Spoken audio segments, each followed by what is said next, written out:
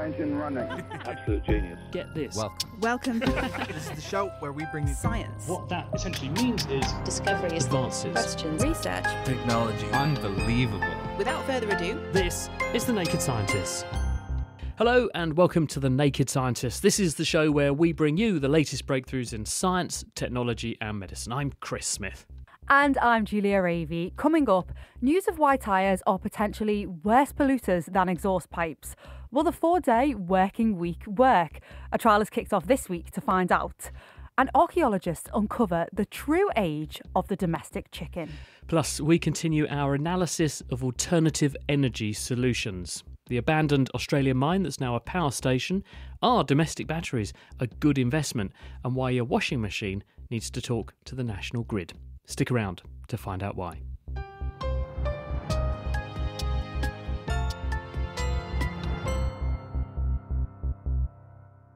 Bad air sits at the top of the league tables as a leading cause of ill health internationally, and a lot of air pollution stems from road traffic. Notoriously, it's the fine particles in exhaust smoke that are responsible. In recent years, though, significant pressure has been brought to bear on vehicle manufacturers to clean up their Emissions Act. And at the same time, some areas have introduced emission control zones, like the one in London, that penalise polluting vehicles and drive them off the streets. But as these measures take hold, and especially as we switch to electric cars, there is one form of pollution that's rapidly becoming the elephant in the room, flying straight under the roadside radar and slipping unnoticed into those ultra low emission zones. And that's the particles that rub off of your tyres. Research suggests that these can be just as bad as exhaust smoke. They're also present in massive amounts, as Nick Molden, the CEO of Emissions Analytics, has been showing. So I did some calculations, and you very quickly realize you are talking about hundreds of thousands of tons of material being shed every year across, say, all the vehicles in Europe. In the world, there's about one and a half billion cars. If they are shedding even relatively small amounts of material, that adds up to a very large amount. At last, the regulations have got on top of tailpipe emissions, but it doesn't mean that cars don't have other sources of pollution. Uh, brakes is one, but the one that we think is the biggest and growing is tires. What is most important for us to think about and regulators to get their head round? It is now tires, not the tailpipe. Do we have any feel, though, for the relative nastiness of emissions from tailpipes versus tyres? Because we've got quite familiar with what these small particles are, how big they are, which are the worst ones, what sorts of impacts they have on human health when we breathe them in. Do we have any data on what comes off of a tyre and in what sort of quantity and what its link to disease risk is? There's a certain intuitive understanding that, or belief rather than understanding, that tyres are largely made up of natural rubber. And because that's natural, that can't be that bad. Well, it turns out, particularly in car tyres and van tyres, this is not true. Actually, natural rubber makes up a pretty small proportion, maybe a quarter maximum. Most of it is synthetic rubber derived from crude oil. And that brings us to a really interesting parallel with fossil fuel vehicles in that we are using derivatives of crude oil to create the tires. And so the pollutants coming off tires are, in a way, you know, cousins of what's coming out of the tailpipe. And so we are seeing a lot of the same common compounds. And one group, particularly to flag, is what's called aromatics. Many of them are carcinogenic to humans. If we compare across the hundreds of tires we've now analyzed, that proportion of aromatics varies between about 25% at the low end to 80% at the high end. What that says to me is one, those are high figures anyway across the board, but also that they vary hugely from tire to tire. The thing is, Nick, the mere fact they are there is a bit like me saying, Well, I know there's some asbestos in the building that I'm working in, but as long as I don't fiddle with it, I'm quite safe. If the carcinogen stays in the tyre or stays on the road surface, That's not, in theory, a threat to my health, is it? So, have we got evidence that this is coming off the tyre and potentially exposing people and therefore increasing their risk of onward disease? So there's three directions these particles take. Uh, the smallest ones make up about 11% of the mass, uh, and they will hang in the air for quite a while and are subject to human inhalation. They are sufficiently small to transfer into the blood and potentially into the brain. There is now a reasonable amount of evidence that that's not a good thing. But what happens to the other 89%? Our estimates say that probably roughly equally that is split between it going into the water and into the soil, which then can find its way into the food chain.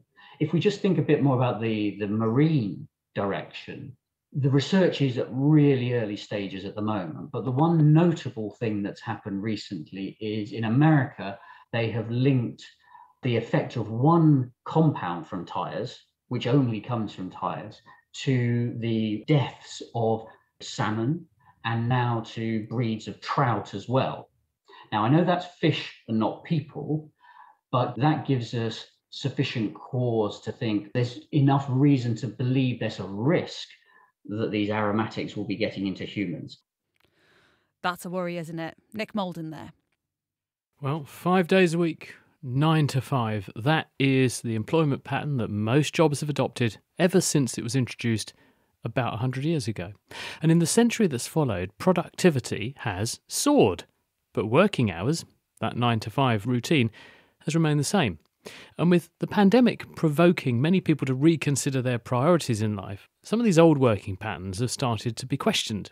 Can, for instance, employees maintain 100% of their output for 100% of their wages but work just 80% of the time instead. Well, that's the hypothesis that's being tested in a new trial that's begun with some UK businesses this week. And Julia spoke to Brendan Burchell, who's at the University of Cambridge and monitoring the trial data to find out what it's all about. We've got a big trial in the UK. It's following the model in other countries. We've got 70 employers covering about 3,000 employees who all are going to go down to a working time reduction model. Typically, it'll be a 20% reduction in their working week, while they're aiming as well that people shouldn't get a pay cut and they will be just as productive as they were before. So they'll be doing the same amount of work, but working smarter and getting it done by Thursday so they can have a three day weekend. So you're getting a bit less time in work, but the expectation is to have the same output. So is there sort of a science behind that being possible? We've got some experience of other organisations have experimented with this, and overall, the results seem to be very positive. People really enjoy having that extra leisure time, being able to have a more relaxed weekend, be able to do things in their own time, and realizing that there were ways in which they could work more effectively, whether it can work in all situations, how we need to tailor it to different situations, what sort of mentoring and assistance we can give to organisations. Those are still open questions, and we'll know the answer to lots of these things in six months or so when the trial ends. And how are you going to monitor the success of the trial? We're taking lots of different measures, but for instance, on the productivity, we rely on organizations to define themselves. What is the most important output they want? Is it to do with the profit? Is it to do with the quality of their service? And we'll use their own metrics. We'll also be looking at the employee well-being, looking at their mental health, and also trying to get some indication of the carbon footprint that we're hoping is going to be improved by these changes to people's working lives. Was this an opt in process? It was, and there's been publicity around a, a, small number of organisations in the UK that have done this. It's interesting just how much interest this has had, both from employees but also from employers. On the employer side of things, I was surprised that so many were keen on it. Have any had the attitude of, well, if my employees can do it in four days, I should just pay them for four days? I haven't come across that. Again, I mean, they're all different. Employers tend to be very proud of what they're doing and want to work with employees on this. That's the impression we're getting from talking to the employers anyway. Sometimes it's because they want to recruit and they were finding it difficult to recruit and thought that would be one way that could really attract the best talent. In other cases, it was because they were particularly in the business of welfare. And in some cases, the profit motive wasn't the main thing that they were interested in. They were more interested in their service to the local community, in how they treated their employees. This type of trial can apply to, I guess, many different industries. Are there any industries which would struggle to adopt this? I'm thinking like the healthcare industry, because I guess at the minute, in the UK at least, we're massively understaffed with healthcare. And so would we have to like up the staff numbers then to maintain this type of model? Certainly, there are some sorts of employers that can do it more easily. That's our experience so far, particularly when you've got professionals working quite autonomously, like architects or people doing programming. And often people's initial reaction when I tell them about this is, well, you couldn't do it in hospitals, for instance.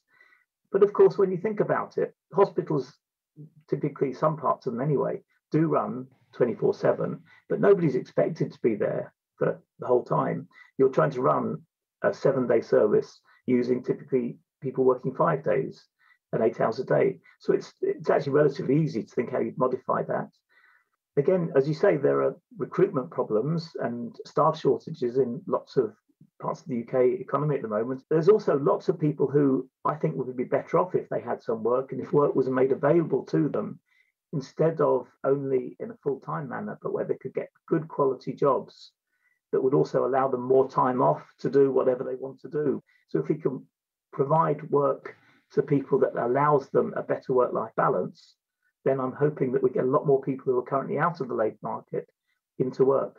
Are you working a four day week at the minute?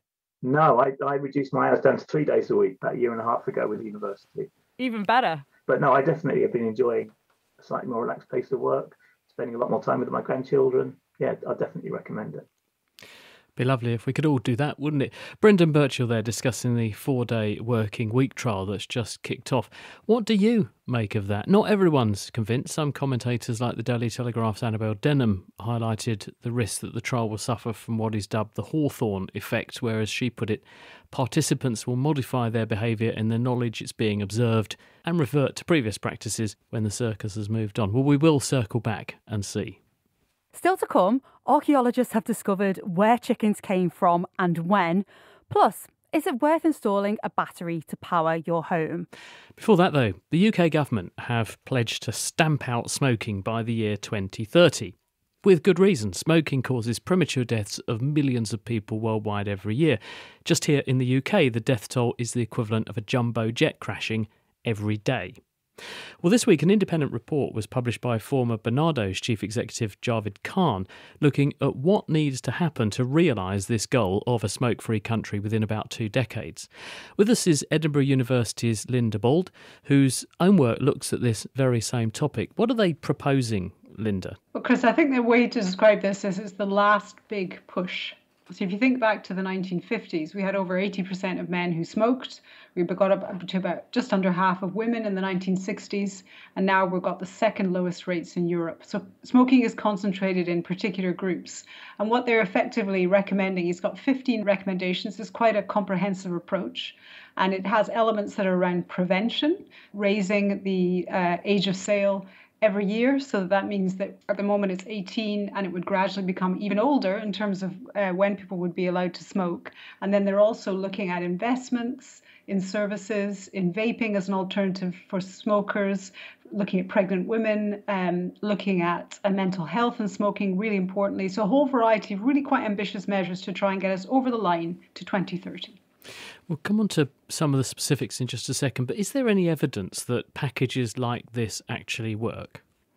There is actually. So in 1962, the Royal College of Physicians produced Smoking and Health, which set out a package of measures that should be implemented. It actually took 50 years but as they were implemented in stages, and that meant raising the price, banning marketing, offering people support, when you change the environment and you change behavior together over time, it really does have an impact. And in fact, smoking is probably the best example in public health of a comprehensive approach and things acting together. So, you know, I, I don't know whether much or any of this will get implemented, but if they actually did implement it, I would be really quite confident this would be adding to what we already have and make a real difference.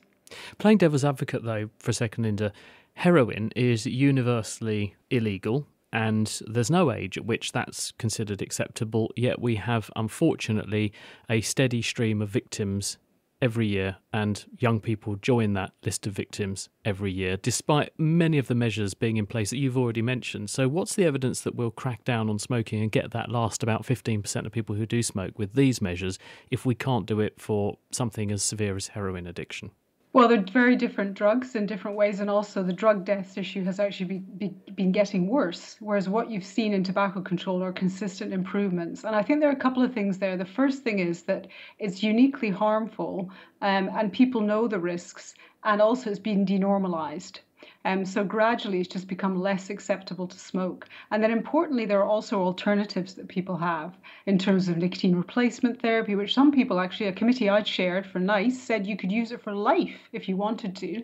Um, so I know people who are still using NRT lozenges and they stopped smoking 10 years ago. So nicotine is not the problem. We don't need to abandon the actual drug that's addictive because it's not causing harm. It's the burning and the tobacco, also oral tobacco, that causes the harm. So I think it's quite a different scenario. And just in the last half minute or so, one of the recommendations is let's offer people vaping as an alternative. Is that not possibly substituting one poison for another, though? Well, vaping is not risk free, and it's really important to emphasize that. But the thing, I come back to the burning, Chris. Smoking kills one in two of its regular users. In fact, two in three of its regular users when used as intended. Vaping has a very small proportion of that risk. We don't have the long term um, data, but for smokers, it's definitely the better option. The challenge, of course, Chris, is to keep it out of the hands of non smokers and young people because we don't know long term how it might affect them. Indeed. Linda, thanks very much for bringing us up to speed. That's uh, Linda Bauld. From baffling British weather sideways spines of the vertebrae coming off here to looking at a cheetah from the inside out, games making their way to the clinic, and what to eat in your garden. The Naked Scientists in Short podcasts bring you a top up of short, compelling science stories. Listen and download for free at nakedscientist.com slash short or subscribe to Naked Specials wherever you get your podcasts.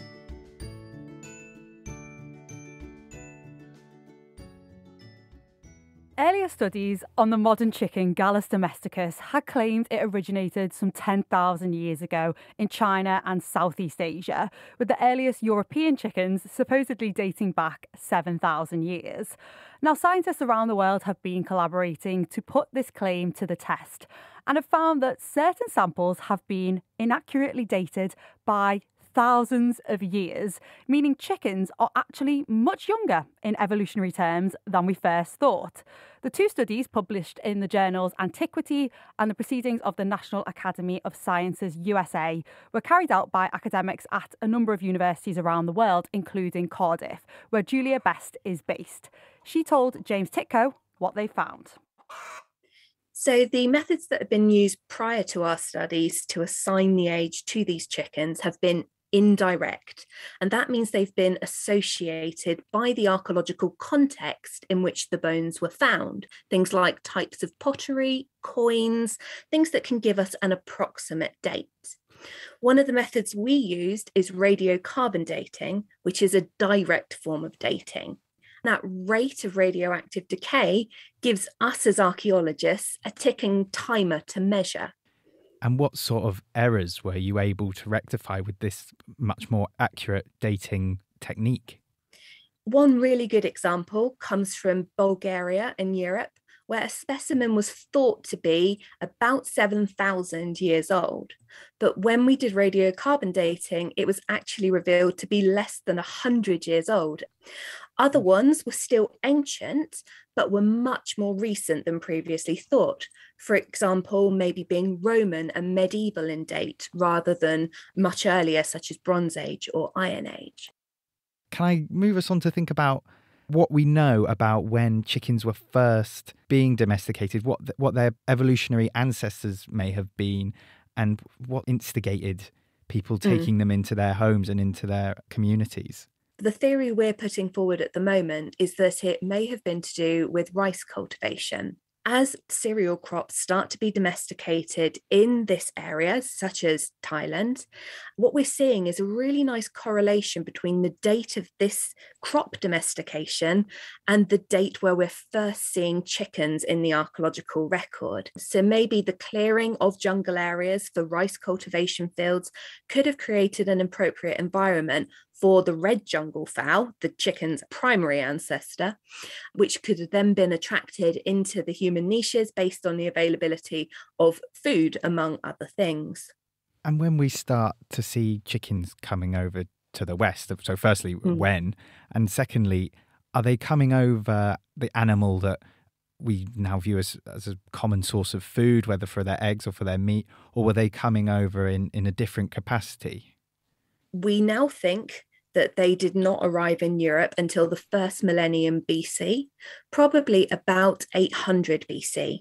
So, out of the 23 bones that we radiocarbon dated, 18 of them were much more recent than had been claimed. So now that we can rule out those intrusive chickens, we can get a better understanding of what people were actually doing with them and how they are interacting. Let's take Britain as an example for now. When these animals first arrive, chickens do not seem to be primarily considered as food.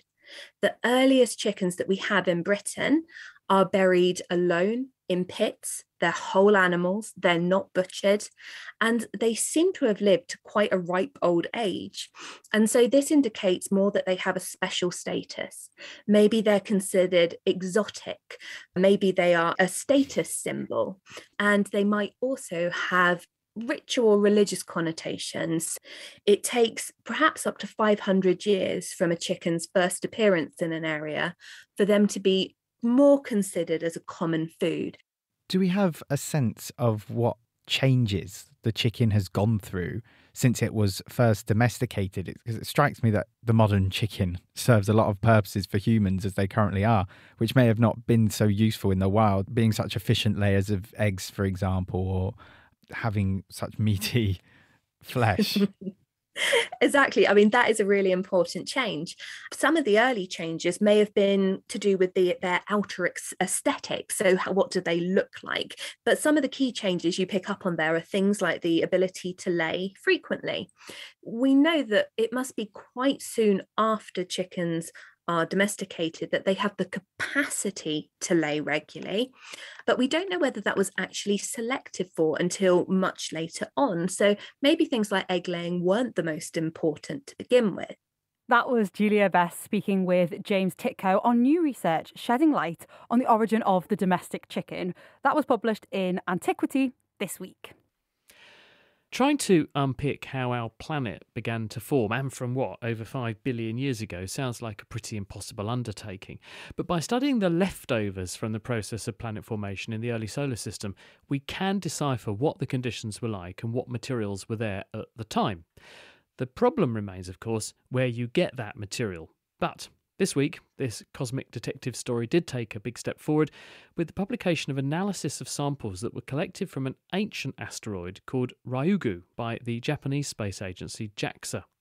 Samples were brought back aboard their Hayabusa 2 probe and are now being studied. So I asked the Open University's space scientist John Zarnecki to bring me up to speed on what the results are revealing. This mission, Hayabusa 2, is from JAXA, and it was their second asteroid return mission. These are very demanding and challenging, but both of them have worked and have returned samples to the Earth.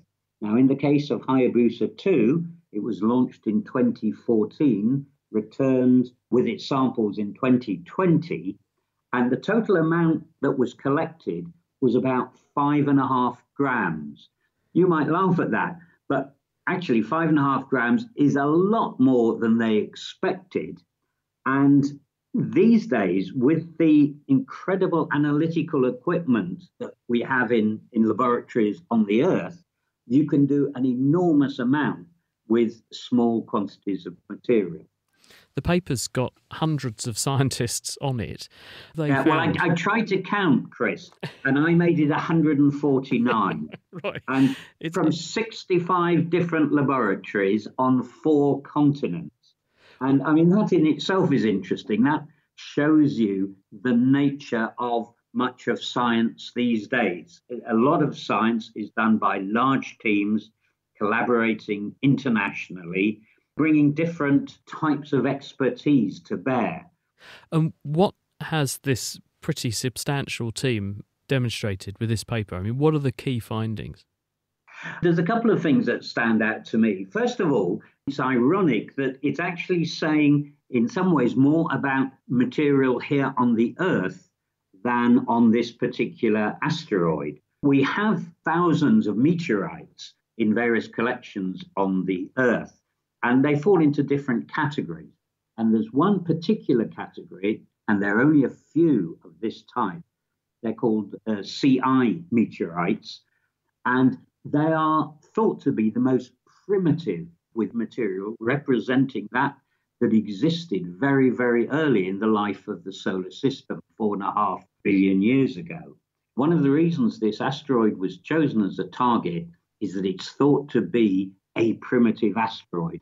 And the first analysis, published a few months ago, sort of confirmed that that seems to be the case. Now, in this paper, this large group analyzed the material and compared it with the samples that we have in the meteorite collection. And they found that, broadly speaking, the material was the same, but there were some significant differences. Now, we always worry with meteorites to what extent are they contaminated by, in many cases, sitting on the Earth for tens or even hundreds of years. This paper is really showing this is what this material should look like. And anything more that we see in these uh, samples on the Earth are due to contamination.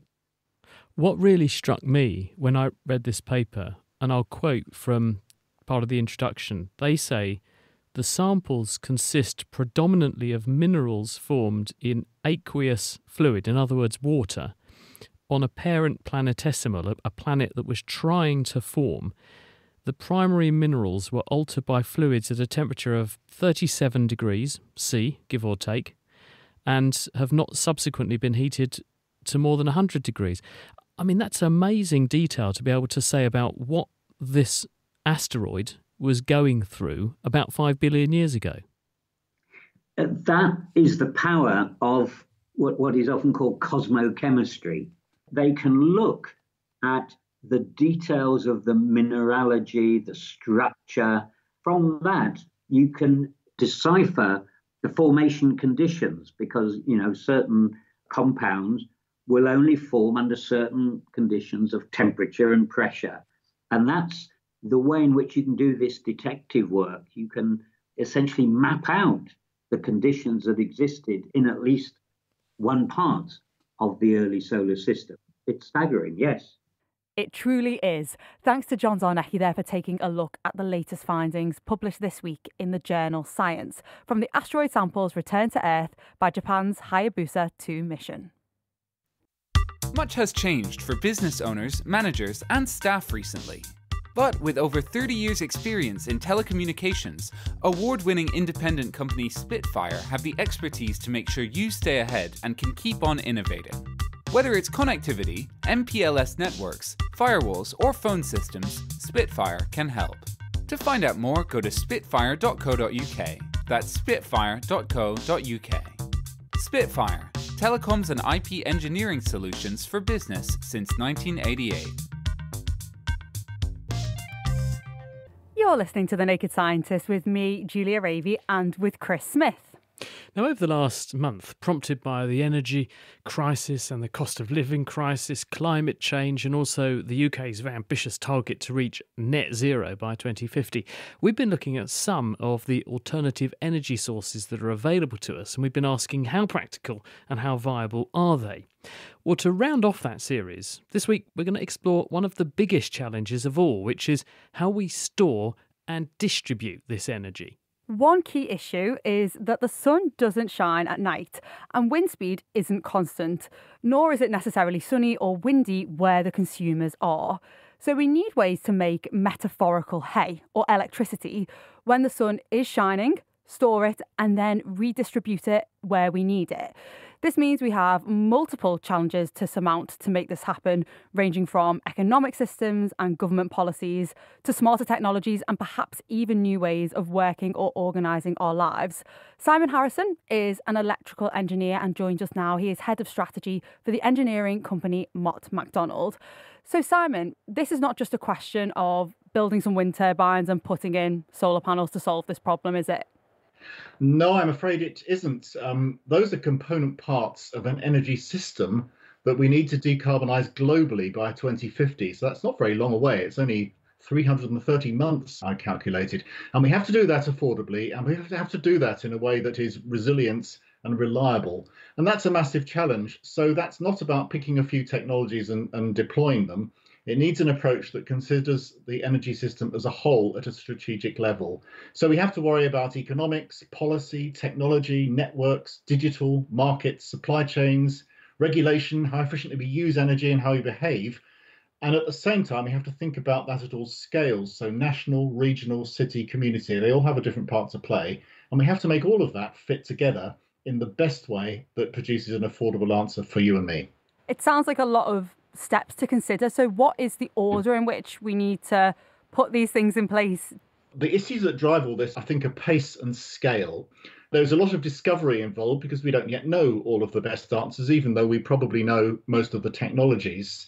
And we need to test and deploy multiple approaches at scale. We can't assume that we make a policy based on something working. There may be all sorts of issues as to how much things end up costing, whether there are supply chains that can produce things at enough scale, uh, and so on, and how that's working out uh, around the world. And we need to learn fast change our approach and then scale again. There are some clear kind of immediate needs. We need a policy environment a digital backbone on what I would expect to be a much more digitalized system, and support for innovation, both uh, innovation at big scale, things like um, better nuclear or offshore wind, um, and innovation at perhaps much more local scale about how energy needs to be better integrated locally. And we're currently in this cost of living crisis. So, all of these interventions that are needed in the future, they sound great, but probably very costly. Is this going to be cost effective down the line? Well, we have to decarbonise by 2050. If we don't do that in a thoughtful, planned way that thinks about the system as a whole, it will end up costing a lot more money. So this will cost money, uh, but this is about spending as little money as we have to to achieve the end goal. If we don't take a systems view, we'll make far more mistakes. We'll have to rectify things later. Alternatively, we, we might well end up um, missing the target. If we find out how to scale new approaches, costs tend to come down dramatically. And the evidence from, say, solar and wind is very much the case. Both of those are much, much cheaper than they were 10 or 15 years ago. So, with these interventions in place, would the hope be that prices of electricity will be more stable in the long run because we have these storage systems in place. An energy system based on a much broader mix of sources, including much more um, renewable energy and appropriate and well integrated storage and smart end use, using energy demand as, as something that can be varied as the wind blows and the sun's out, all offers opportunity to a much more price stable uh, energy system uh, in the long term, although none of these things will have a big impact on prices in the short term, unfortunately. Simon Harrison from Mott MacDonald, thank you very much. Now, when it comes to storing energy, you don't have to actually store electricity. Although advances in battery technology do mean it is becoming much more practical to do that, as we will be hearing a bit later on in the programme when we talk about the rising trend towards installing domestic batteries to power our homes. One alternative, very attractive energy storage solution is in fact hydrogen. It's very easy to make. You pass electricity generated from a renewable source like solar into water, and you use the electrical energy to split the water molecules into hydrogen and oxygen. And the hydrogen you can send down pipes so that people can burn it or use it in various industrial ways, or you can feed it into devices called fuel cells that reverse the splitting reaction, recombine the hydrogen and the oxygen, and they return electricity and water. Physicist Dave Ansell is one of the world's best science demo developers, so we asked him to show Harry Lewis how it all works. Here we go. Oh, what a space! Yeah, I didn't expect this at all. Yeah, so there's a metalworking lathe there, pillar drill, manual milling machine. Uh, Crikey, it, there's it, a table. it's like the TARDIS. you come to down the bottom of the garden. This is outrageous. So, Dave, what have we got? What's in front of us? So what I've got is two wires which be coming from the solar panels effectively, and they're basically just connected to two wires in some water. This is el- electrolysis, isn't it, that we're going to be carrying out? Yes. So what we're doing is we're passing electricity through water effectively. The way electricity passes through a liquid like water, something which is ionic, is you actually get ions moving. So you get positive hydrogen ions moving one way and negative OH minus ions going the other way. And when the hydrogen ions reach the negative electrode, which they're attracted to, they will form hydrogen gas. And when the OH minus ions reach the positive electrode, they'll form oxygen gas. So, if we hit the switch on that, are we going to So- start that current up or provide that voltage? Yeah, we'll hit the switch. And if you look closely, mm, Bubbles off both sides. Yeah, so you can see there's more bubbles being created on the hydrogen side than the oxygen side because water's H2O. So you get twice as much hydrogen as oxygen. How do we actually know that we have hydrogen and oxygen? So what I'm going to do is I'm going to add some soap to this water, which will hopefully mean the bubbles will be re- more stable. And we can mix that in and we will wait for a bit and hopefully be able to collect a pile of bubbles of hydrogen and or oxygen. Whilst we've got a little bit of time because the bubbles are forming in our soapy mixture, what would we then use that for? So one thing you can actually do, in fact, with this demo, is if you just um, leave the electrodes in there and there are some bubbles trapped on them, you can plug it into a voltmeter, and it will generate a voltage. Oh, Yeah, it's not very stable here. It's not a very good system because you totally lose the gas, um, which is only just stuck onto the wires. But if you can build a proper fuel cell, you can basically produce a battery which you can recharge by adding hydrogen and oxygen to it. right, interesting. And if you weren't to make a fuel cell, is there any other way that we could make use of this hydrogen? Well, the simplest thing would be to just burn it. So you can just put it into the pipes and supplement your um, natural gas with something more environmentally friendly. However, that seems to me to be a bit of a waste because there are all sorts of things which you do first which need hydrogen. So things like making fertilizer, which is a big issue at the moment. All nitrogen fertilizers are made from nitrogen gas and hydrogen, which you react together at high pressure to create ammonia. And I mean, people are talking about smelting iron using hydrogen instead of carbon, which again would decarbonize another industry. So, we're bubbled up. Does that mean we're ready to go? What What do we do now? So here's a match. Oh, that was so much louder than I expected. That was good, wasn't it? That was good. uh, there's a squeaky pop, as you learnt in school. Hydrogen should produce. Hydrogen did produce a squeaky pop. So that pop has obviously released a load of energy, which we've stored by electrolyzing the water. And obviously, that's the energy which you then get back in a fuel cell or by burning the hydrogen, which we just did. Thanks to Dave Ansell for that squeaky pop there, who was speaking with Harry Lewis. Another way to store energy is to use gravity. If you use electricity to push something up a hill, you've given it gravitational potential energy. And you can get that energy back by letting the thing roll back down the hill. And if you do this with water, you've got the basis of what's called a pump storage hydroelectric system. And this is what engineers have been able to do in one part of Queensland in Australia. In a world first, they've turned a flooded, abandoned mine pit at Kidston into a system that uses solar energy to pump water out of the mine pit during the day, and then it provides power for a nearby town all through the night. Mott MacDonald's Ashley Groan tell me how it works. The Kidston project converts an old 100 year old gold mine and repurposes it into a gravity hydro pump storage project. It's a fascinating project because the mine workings left a 300 metre pit in the ground, which, for reference, is now that I'm sitting in London, is about the height of the Shard. Over time, it is filled with water.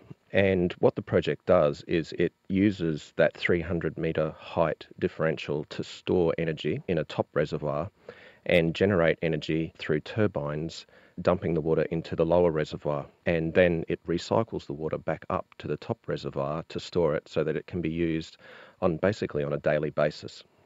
Is this an open cast pit, or or are we talking old mine workings, tunnels, etc. here? It is an open cast pit, and the spoil left from the mine workings has uh, created the upper reservoir, and the 300 metre deep pit is uh, is the lower reservoir for the pump storage scheme. And how big is that pit then? If you were a golfer, it's about a, uh, a driver and a short iron, so approximately 300 or 400 metres, depending on how good you are at golf, across, if you can imagine a conical shaped um, pit in the ground. So, how much water's in there? Um, it's in excess of 3,000 Olympic swimming pools, and the pump storage scheme basically pumps 2,000 Olympic swimming pools up the hill over an eight hour period and then can flow the same uh, quantity of water down through the turbines to generate the power in an eight hour period.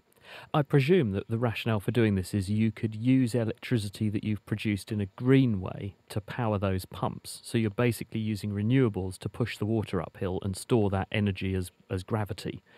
Then you, you can turn the taps on when you want that energy back when the sun isn't shining or the wind isn't blowing. That's absolutely correct, Chris. So, in Australia in particular, we have excess solar power generated during the day. So, there is excess and very cheap solar energy to pump the water up the hill. And then, when everybody comes home of an evening and switches on their air conditioning in Australia or, or boils their kettle in the morning, we can generate power from that water stored during the day to meet the needs of consumers during the night and the, and the morning peaks. How much energy will this thing put out? How powerful is it? Um, in technical terms, it's a 250 megawatt scheme and can generate for eight hours. So, as a point of reference, that's basically enough to power 100,000 homes.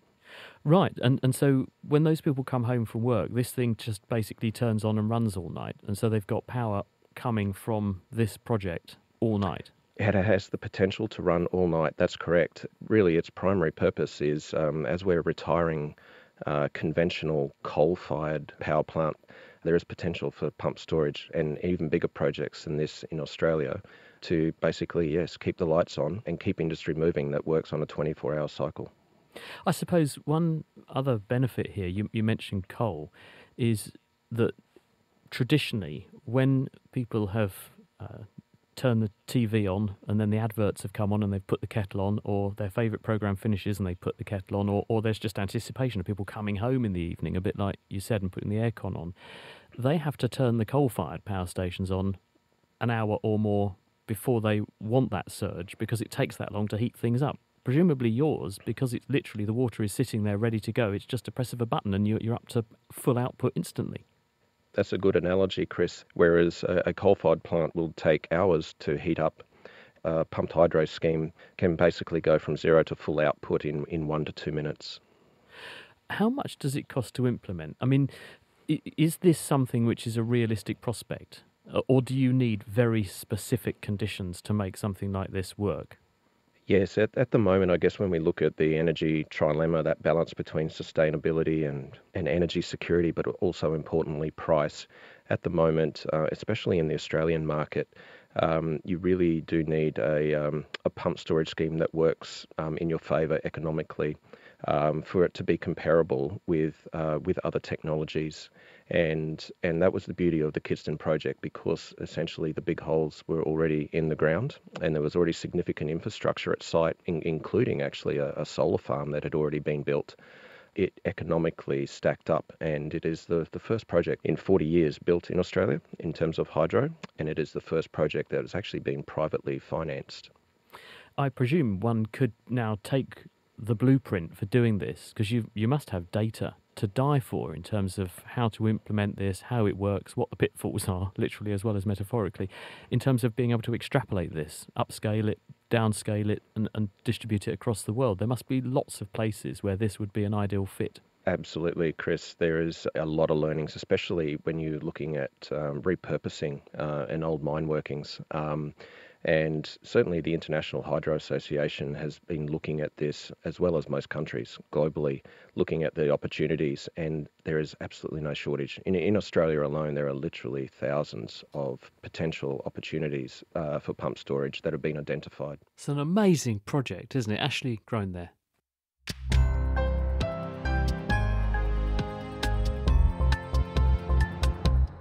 This week, we're continuing our look at alternative energy and exploring the best ways to store and distribute the power we generate. Coming up, smart grids. Will your washing machine and power shower be talking to the national grid in the future? Sounds like it'd be an interesting conversation, wouldn't it? Before that, though, increasingly homeowners are adding solar panels to the roofs of their houses to help offset their power bills. The problem is that during the day, when it's sunniest and when their system is generating at its maximum output, most people aren't at home, so they can't easily run the washing machine or charge up the car or put on the hot water to make the most of it. And although you do get paid to export your homemade electricity onto the grid, the rate of payment is much lower than you have to pay when you buy that electricity back off the grid at night time when you are home and you need the lights on.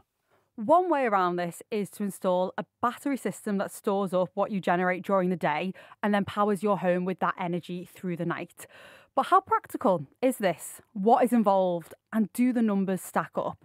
Chris Jardine is founder of Joju Solar, who supply these systems.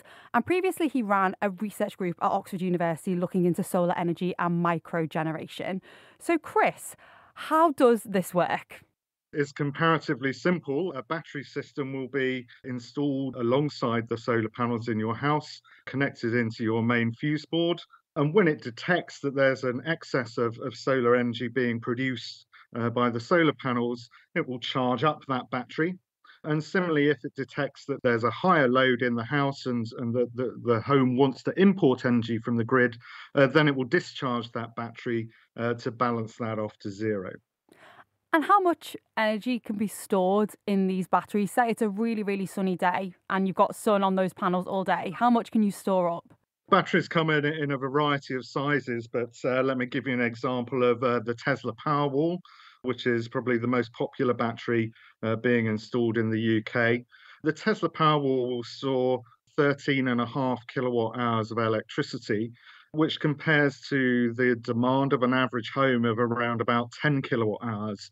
So Tesla Powerwall will be installing you roughly a day's worth uh, of electricity in that battery. Smaller batteries might be around about half the size, perhaps around about five kilowatt hours. And what is the output? So, say you've got a family of four and it's nighttime, so there's no sun, we're relying solely on these batteries. Everyone's got their gadgets out is this going to be a doable thing with this type of battery? It depends on the size of the battery you purchase, but certainly the Tesla Powerwall, which has a, a five kilowatt power output, uh, would be capable of, of meeting, you know, lighting, TV loads in the home, as well as sort of major heating loads uh, like a like a kettle or an oven. Smaller batteries would have a, a smaller power output, maybe two or three kilowatts, uh, and they may struggle to meet those peaks in demand that come from uh, high powered heating appliances. A problem with batteries is their lifetime. So we have terrible phone batteries, which have got better over the years. But what is the lifetime of these batteries that will be installed? Yeah, so we're seeing the sort of typical warranties on these batteries uh, being around about uh, 10 years. Uh, which means that we probably expect their their useful lifetime to be extending out uh, around maybe 15 to, to 20 years. And certainly the data that's that's coming off some of these early battery systems that have been going in over uh, the past five years or so is that actually the batteries themselves seem to be holding up very well and not degrading too much. And there's going to be an upfront cost for getting one of these batteries installed. So, what is the payback period for this? Yeah, so if you'd asked me this question about a year ago, I would have said that the payback of a, a solar system on its own compared to a, a, solar and battery system in the home would have been roughly equal. Um, the, the, battery itself would have had very minimal impact either way uh, on the payback of, of that overall home energy system that, that you'd be putting in reason for that, as we've discussed, is obviously the benefit comes from the export payment for solar electricity, which is around about five pence per kilowatt hour, and the import price for electricity, uh, which historically was sitting at around about 15 pence per kilowatt hour. That difference is, is really what's provided uh, the, the, the benefit, the financial benefits of installing a battery. But obviously, that has to be offset against the capital cost of, of the battery system itself. So historically, we weren't seeing a, a, lot of difference there, and we were seeing people installing batteries really for much more emotive reasons based around wanting to be more self sufficient, wanting to be independent from the dirty electricity grid. Clearly, the picture's changed over the last year, and now we're seeing electricity import prices up around 25 to 30 pence per kilowatt hour, then I think there is now a financial case for, for installing batteries, uh, and that you would see um, solar systems with batteries incorporated into them, uh, giving improved payback periods uh, compared to just installing solar on its own. And just in the last 30 seconds here, with the current energy crisis, has demand for these batteries at home gone up? Yeah, I mean, demand for, for both solar and battery storage has gone through the roof really since last October when people started getting worried about electricity prices. There was another big bump in, in March when, when the Ukraine crisis broke as well. And certainly at times we've seen demand for solar and battery systems running about 10 times normal levels at the minute. Wow. Well, thank you, Chris Jardine from Joju Solar. Now, apart from just storing energy, another approach is to actually use what we do have more effectively and in a more timely way. Now, the load on our energy supply rises and falls all the time, meaning there are periods when there are relative surpluses and there are other times when we face shortfalls, and those shortfalls often necessitate switching on expensive and usually very carbon unfriendly fallback systems. So, if we can make our energy systems more intelligent and flexible in their consumption patterns, we could make some significant savings. But what does this involve, and is it really realistic? Sarah Darby is at Oxford University's Environmental Change Institute, where she works on what are called smart energy systems. Sarah, welcome to the programme.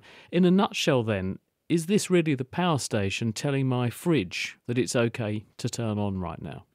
Uh, this is one of the most exciting areas of energy research at the moment, I think. It's what Simon referred to at the beginning. It's about looking at the system as a whole and integrating demand with supply. We already have supermarket freezers helping with the power system by adjusting their demand according to the available supply, using more when the wind's blowing and the sun's shining. So we could see a time in the future when that would happen to domestic freezers and fridges as well. That I think would be quite a way down the road. But it has started already. Would it involve then really intelligent devices that are informing the supplier this is what I am, this is how I sit in the pecking order of power?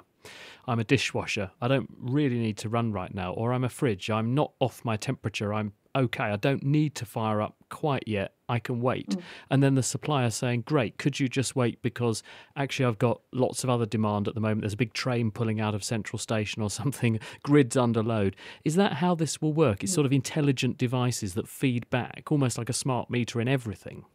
Yes, indeed, that's already starting to happen. So, for example, our washing machine, I can set it to say I want the wash done in eight hours or seven hours before I go to bed. And then it will do the wash overnight. And it can do that at a time that suits the network. You can do the same when charging a car. Both these are flexible types of demand. You could do that with your dishwasher or your water heater.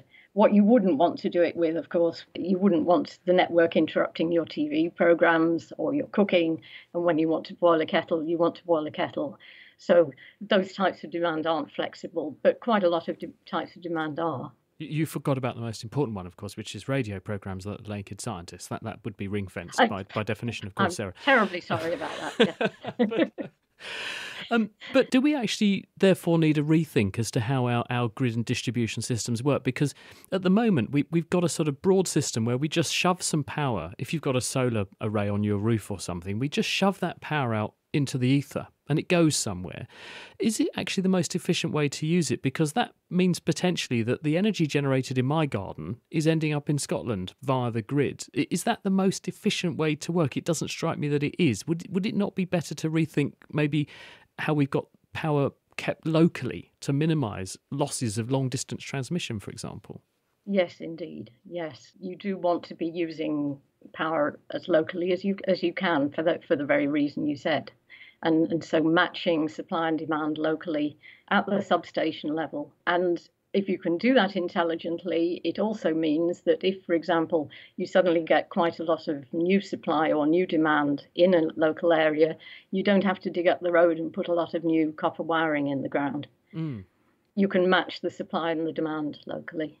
And what sorts of benefits, if you sort of look on the back of an envelope of implementing this, what sort of benefits could we return by doing this? Well, there's the system level benefit.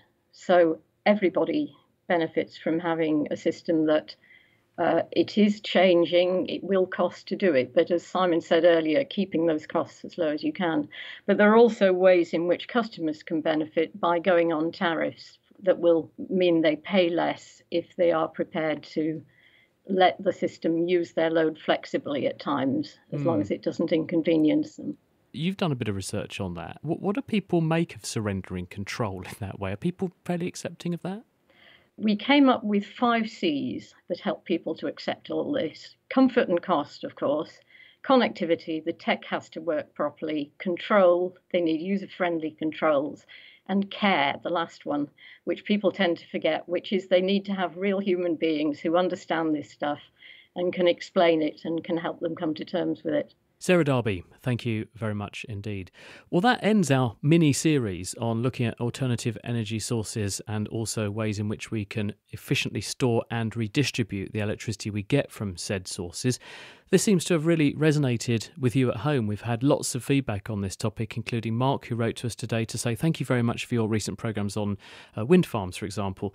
He's in Australia. He says the state of South Australia has recently installed 7,000 hot water services in homes to stabilise power variability on the grid. These work as a heat bank. They seek available energy, e.g., from rooftop solar panels, and they store it in the hot water system for use by families at night on their dishwashers for bathing and, and clothes washing, etc.